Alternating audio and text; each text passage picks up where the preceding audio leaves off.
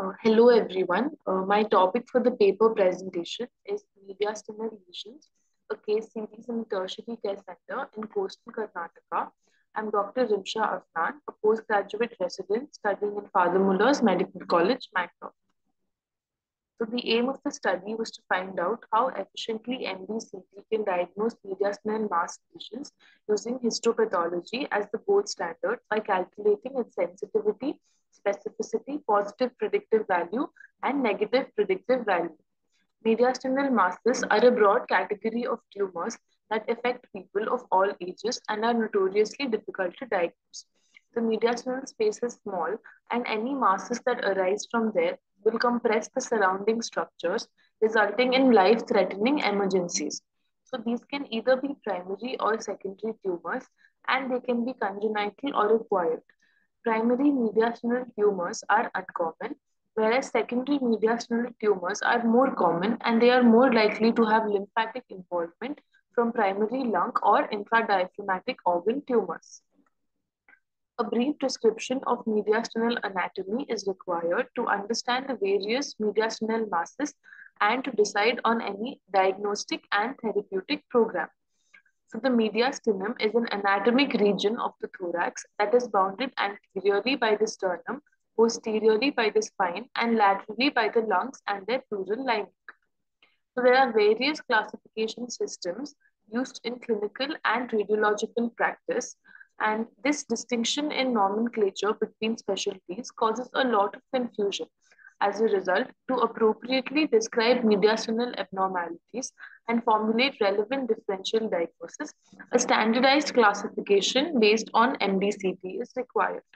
So the ITMIG, that is the International Thymic Malignancy Interest Group, has developed a new cross-sectional imaging-based mediastinal compartment classification system.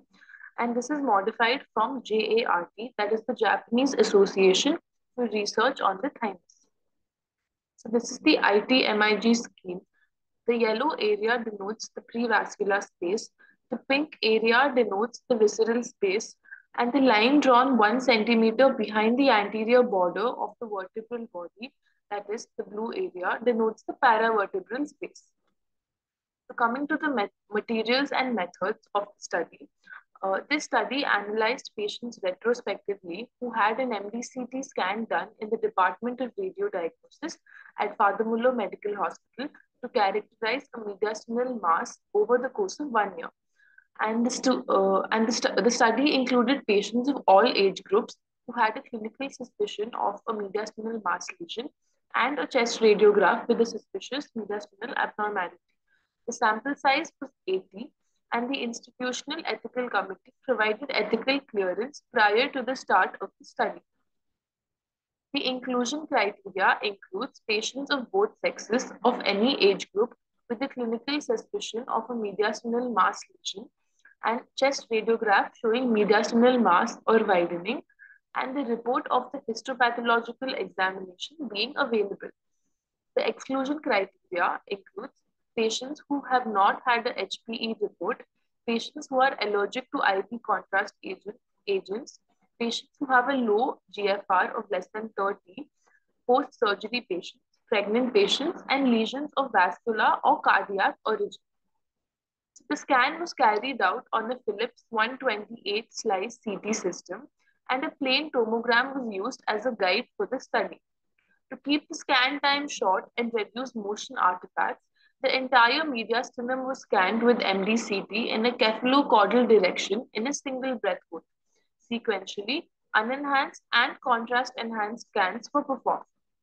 So for contrast enhancement, injection of iohexol, which is a non-ionic non uh, iodine contrast agent was given. Multiplanar reconstruction and 3D volume rendering images were created and multiple window settings like the mediastinal window, the lung window, and the bone window were utilized to, to evaluate the lesions. So MDCT characteristics of the mediastinal mass lesions uh, uh, and compartmentalization based on ITMIG classification system was done and various characteristics were also included. All the cases were evaluated for compartment localization and MDCT features of the mediastinal mass along with the involvement of the adjoining structures. All the patients underwent pre-procedure CT and antero-posterior and lateral view chest x-rays.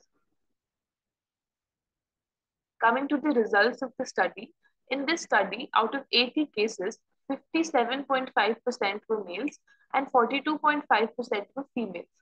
The age group ranged from 4 years to 85 years old, and the most common age group to present with the mediastinal mass was between 60 to 70 years. The mean age was around 50 years. And the most common symptom which was presented with was breathlessness, followed by cough. 11.25% of the cases were also asymptomatic. The most common compartment which was involved was the prevascular space, which accounted for 66.25%, followed by the paravertebral space, which accounted for 22.5%.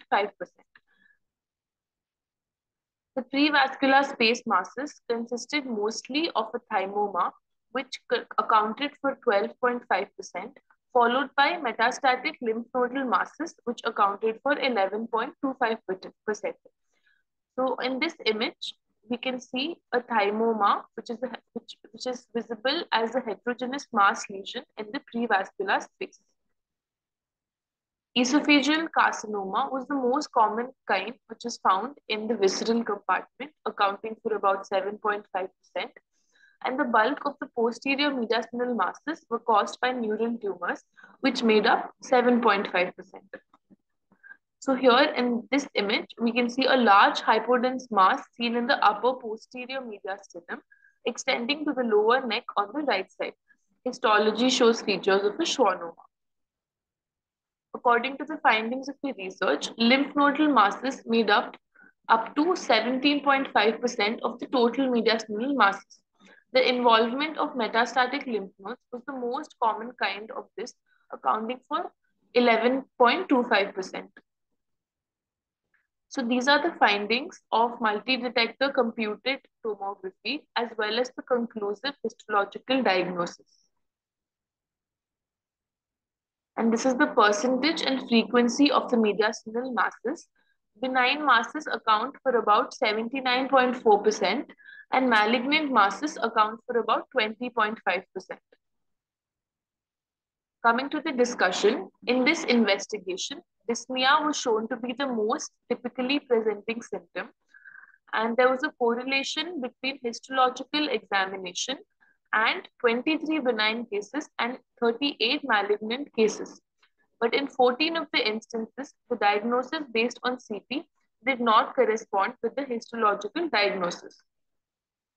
So here we can see that the sensitivity of the study was about 80.4 percentage. The specificity was 79.4 percentage. The positive predictive value was 80.4 percentage, negative predictive value being 79.4 percentage, and the total accuracy of the study comes up to an 80, it comes up to 82.5 percent. So conclusion, the diagnosis of a mediastinal mass lesion may frequently be determined with a high level of certainty based only on its location and the imaging findings. In other instances, a diagnostic diagnosis may be provided when the radiologic characteristics and the particular clinical facts are taken together. It is possible to distinguish benign and malignant tumors with a high degree of precision. It might be difficult to distinguish between metastatic lymph nodes and tube tuber tuberculous lymph nodes in patients who have rim enhancing lymph nodes. The MDCT is a time and money saving non-invasive technique that in order to properly diagnose and treat a mediastinal mass lesion must be utilized in conjunction with other imaging modalities such as PET and MRI whenever the circumstances so require. These are the references that I have used for my study.